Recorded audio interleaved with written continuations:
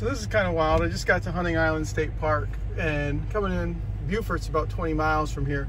Shortly before I got to Beaufort, I noticed that one of my tires wasn't reading, um, which is not unusual. So I, although I did just change the batteries in this, I know the pressure had been good for almost the whole drive. And when it goes off, there's a beep and there's a red flashing light and you can't miss it. And there's an issue with the tires. So figured I'd check it when we got here. Well, we got out and I went to check it and I'll show you what I saw. So this is what I found. It's gone. I know it's dark here right now, but I'll show you. The castle nut is still on there. Um, the brakes are still on there, but everything else seems to be missing. Um, I can see the seal is still back here somewhere. So not sure how that happened. I uh, Two months ago, um, I've had this in storage for the last two months. Two months ago, I took it on a about a 6,000 mile, just shy of 6,000 mile, uh, 5,400 and change round trip out west and back. No issues with it. Um, it did catch, ding things up here a bit and uh, some road rash there. I don't know how it threw tire up this direction, but it did, um, but never really alerted us to it significantly. All right, so here's the deal. Last night we got in just before sunset back to my RV. This is a 2007 Airstream Safari. Backed it in, got out of the truck, checked my spot, and noticed my wheel was gone. Not only is my wheel gone, my hub is gone. Now for some reason, I still have my castle nut sitting on the spindle here, right here. And I can see my seal right there, which looks okay. Looks to me like the bearings are gone. The brake shoes are still here. Um, yeah. so that's what we're dealing with on a Saturday morning. Um, as you can also see, it did some damage as it came off. It hit right here, bent some things uh, scuffed up the side. I'll probably be able to take care of that. Now, before anybody jumps to conclusions, I do have a tire pressure monitoring system and I'm going to show you what went on. So I recently changed the batteries in all my TPMS sensors. It looks like I'm going to have to get a new one, uh, obviously, because one's gone with my tire somewhere. But as you can see there, I was getting appropriate readout on all my tires, including the one that was gone. Now, every now and then, there'll be a loss of signal. It never really concerned me. Usually it means the batteries are getting a little bit low and I'll replace them, even though I had just replaced this one. Invariably, if there's a low tire pressure, this thing starts to flash red and there's a loud beep that goes with it. None of that ever happened.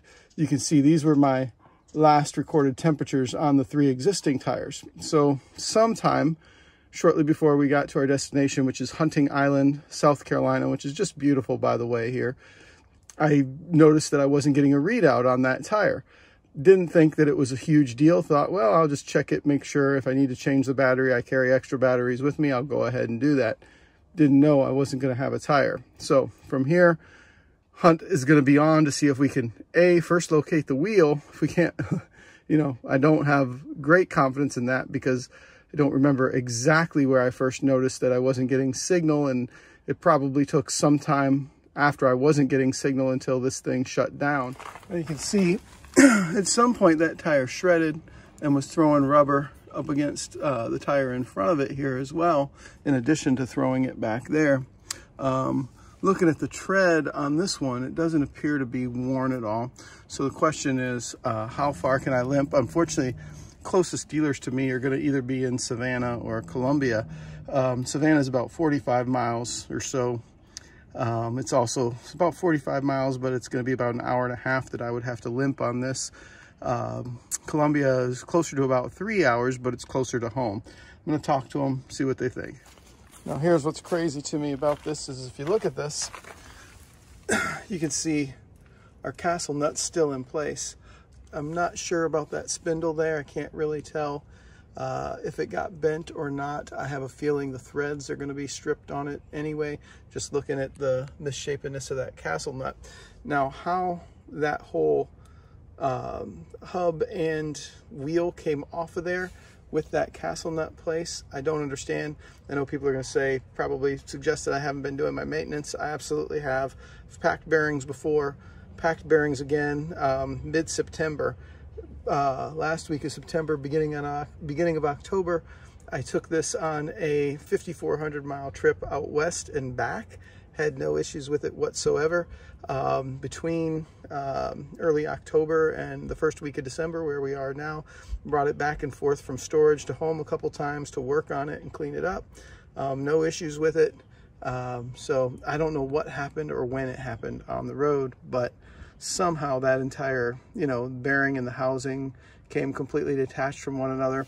Uh, back here, you probably can't make it out, but um, there's the seal right there. Um, and I'm not sure how all this got to be like this. We go down here and take a look. You may not be able to uh, make this out but the maximum gross vehicle weight rating right here on my trailer is 6,000 pounds.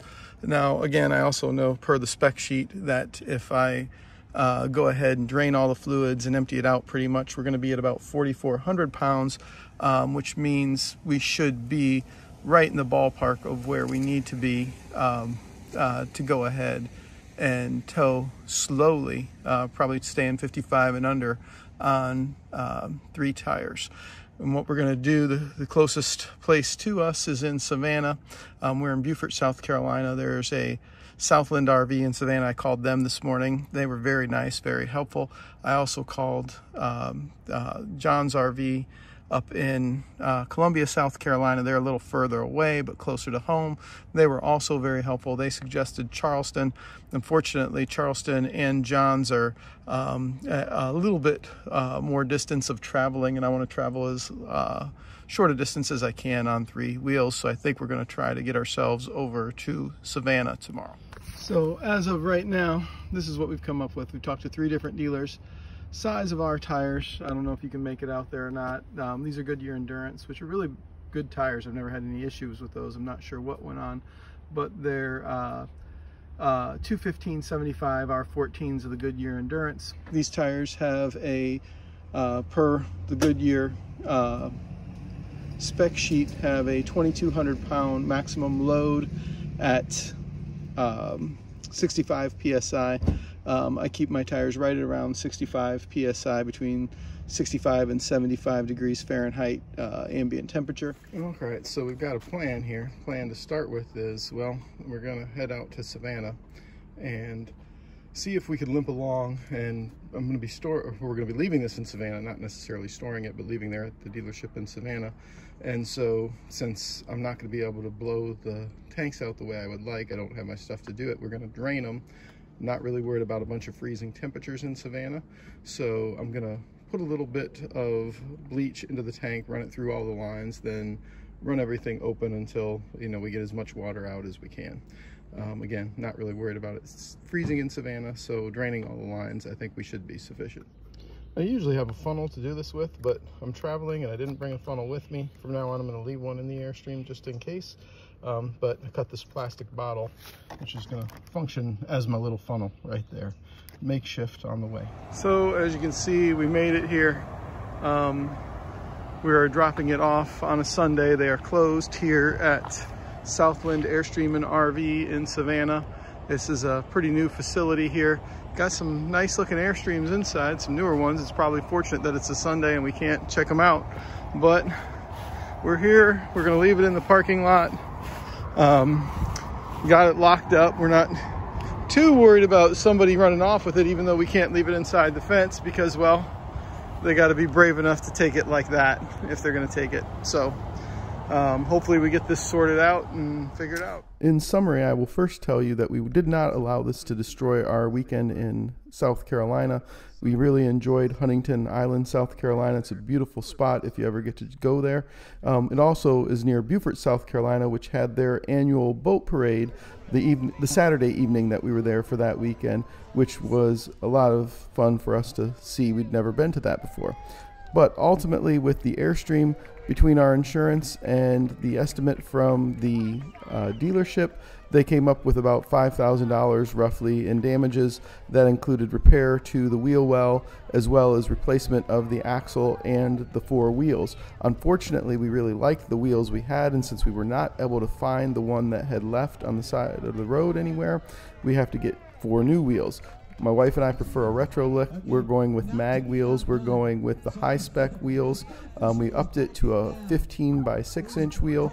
Uh, the reason for that, um, high, we like a we like the five spoke mag. We like the classic look of that and B, High Spec was recently purchased by Dexter Axle.